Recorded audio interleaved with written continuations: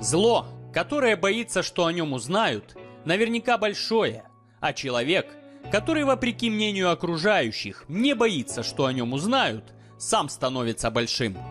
Приветствую вас, трицепсы кузнечика.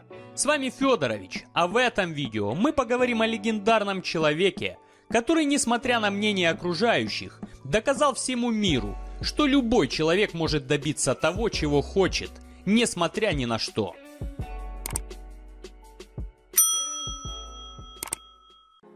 Порхай как слон, жаль как шмель. Именно такой девиз подходит Эрику Эшу по прозвищу Баттербин, который при росте 182 сантиметра имел вес в 170 килограмм и выглядел как профессиональный пожиратель пельменей и уничтожитель баклашек пива с ближайшей наливайки. Но несмотря на все это, стал известным на весь мир своими достижениями в единоборствах. Несмотря на то, что все говорили Эрику о том, что при его габаритах он сдохнет в ринге через 10 секунд и делать ему там нечего, мужик, начав в стиле шоу о боксе, в котором стал чемпионом, перешел в профи, где провел 89 боев, 77 из которых выиграл, причем 59 нокаутом. Но мужик на этом не остановился и пошел за горизонт, принимая участие в боях по ММА и кикбоксингу. А это видео будет именно про бои Баттербина за пределами боксерского ринга.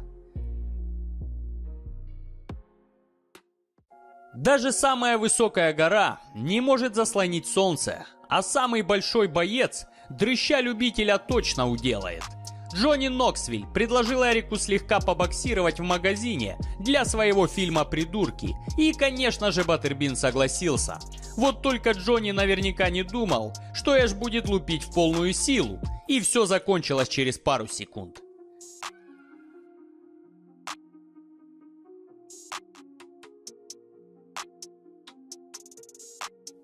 Не ошибается только тот, кто ничего не делает, а вот Эрик делал все, что мог. Неожиданный бой по сумо между Баттербином и Бобом Сапом привлек немало внимания японцев. Правда, продлился он всего пару секунд и закончился победой Бобби, который также весил 160 кило, только мышечной массы. Безопасный секс тот, который не приводит к женитьбе, а безопасный бой тот, который не состоялся.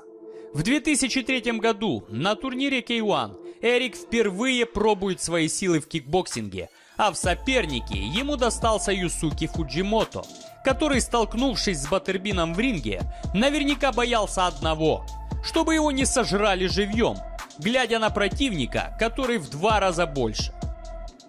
Юсуки пытался работать с дистанции в надежде попасть хайкиком, но Эш по своей боксерской традиции танком шел вперед и попадал очень мощными ударами – в конце концов лишив японца желания драться.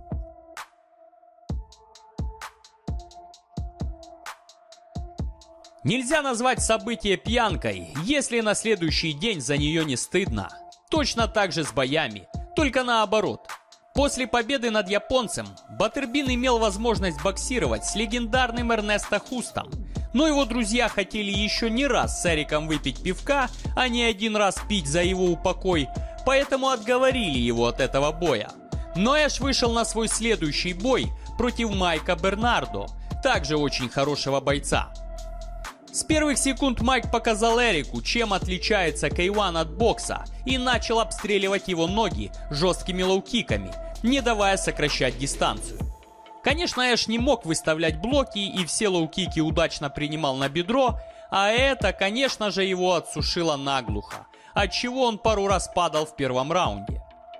Во втором раунде Майк продолжил свою тактику, но сделав притравку парочкой лоу-киков, всадил жесткий хай-кик, отправив Эрика на канвас и записав на его счет первое поражение в кикбоксинге.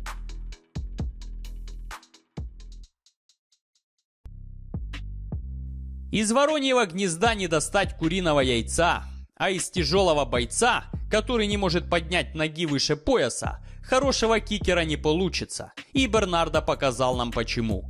В последующих четырех боях Эрик победил лишь раз, и то решением судей.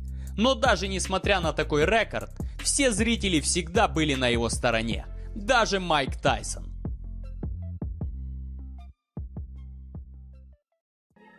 Как бы сильно ни дул ветер, гора перед ним не склонится, Именно так подумал Баттербин и на свой последний бой в 2009 году набрал под 190 кило, выйдя в ринг против Мун Бо Лама, который весил меньше, чем одна ляжка Эрика. Кореец хотел применить тактику лоу-киков, но не тут-то было. Эш как дикий бык набросился на беднягу и четко попал правым сбоку, от которого корейца еще долго откачивали.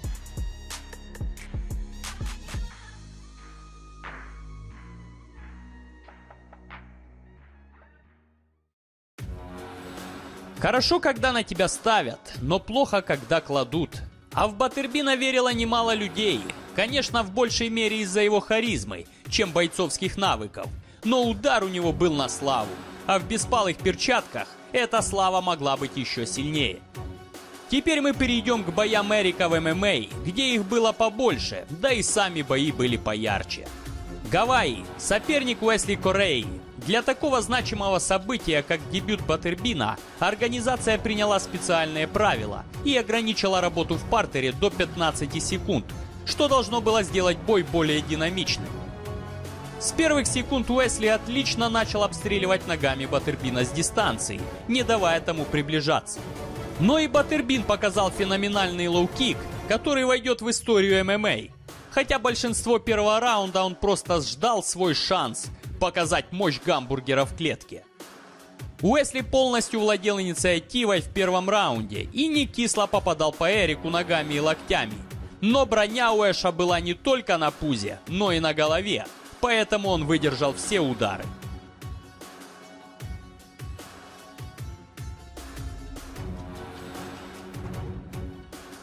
Во втором раунде, несмотря на прогнозы, картина поменялась. Уэсли, потративший весь запас энергожиров в первом раунде, сдулся.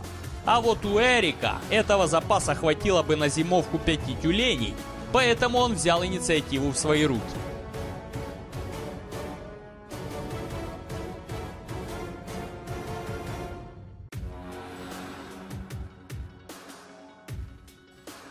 В перерыве оказалось, что Уэсли травмировал локоть и не смог продолжить бой – сделав Эрика победителем в дебютном бою.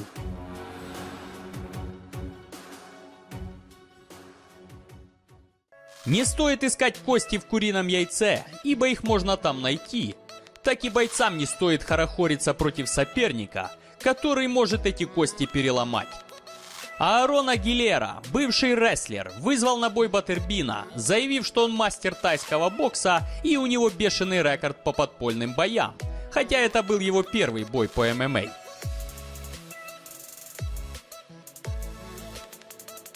С первых секунд всем зрителям стало понятно, что это за мастер Муайтай, а его попытки побороться в партере рефери остановил на 15 секунде, следуя все тем же правилам. Далее наш поединок стал похож на брачные игры моржей, в которых бесспорное преимущество имел человек-зефир – чем, собственно, этот бой и выиграл. Удобно навалившись на бедолагу Аарона, Баттербин делал вид, что хочет задушить оппонента, но на самом деле тупо ломал ему ребра своим-то ножом, отчего бедняга и сдался.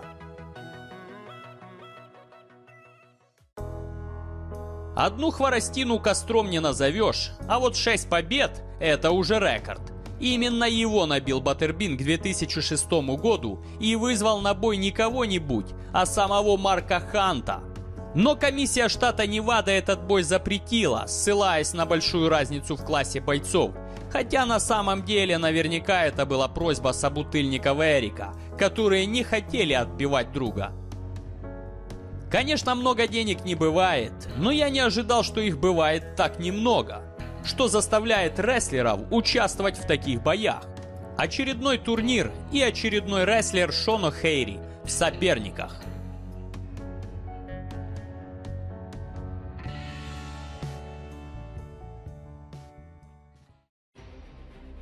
«2007 год. Турнир Cage Rage. Соперник Колосс Джеймс Томпсон. Конечно, даже огромный слон может испугаться маленькой мышки, но он также может ее и не заметить, случайно раздавив.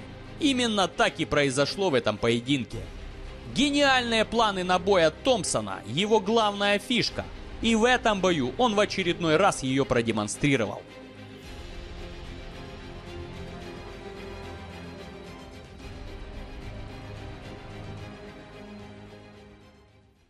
Носорог плохо видит, но при его массе это уже не его проблемы.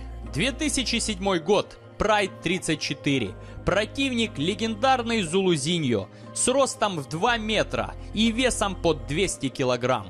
Это была битва настоящих титанов или пельменей, как вам больше нравится.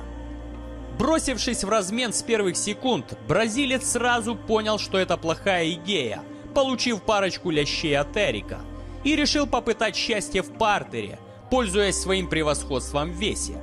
Но и тут его ждала подстава. Мало того, что Эрик занял доминирующую позицию, он на удивление всему миру сделал Кимуру, заставив соперника сдаться.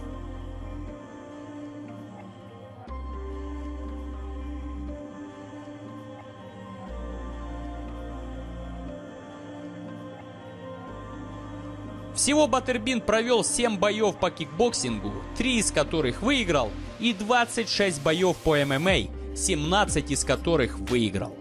Слава и деньги не сломали этого мужика. Сейчас он воспитывает троих детей и владеет своим ресторанчиком, занимаясь благотворительностью. Но главным его достоинством остается яркий след в истории единоборств, который доказывает всем, что несмотря ни на что, можно добиться своей мечты. Подписывайтесь на канал, ставьте лайк, жмите колокольчик и делитесь видео в соцсетях. А в комментах напишите, какой вес решили набрать вы, чтобы начать тренироваться. А если вы уже готовы, то в описании есть ссылка на домашние тренировки. А поддержать канал и получить мою благодарность зарядом силы Чи вы можете став спонсором канала, даже за символическую сумму в 1 доллар, по ссылке в описании или возле кнопки подписаться – обретя таким образом вечное бессмертие и славу мастера. Благодарю за просмотр и настойчивости в тренировках. Отсюда работаем. Левый в печень раз и левой же рукой в голову два, уже выравнивая корпус. Делая эту работу направленную на координацию. Ребята стоят ровно и бьют живот просто вниз рукой. Это неправильно.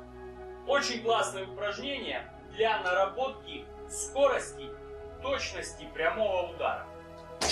Вместе.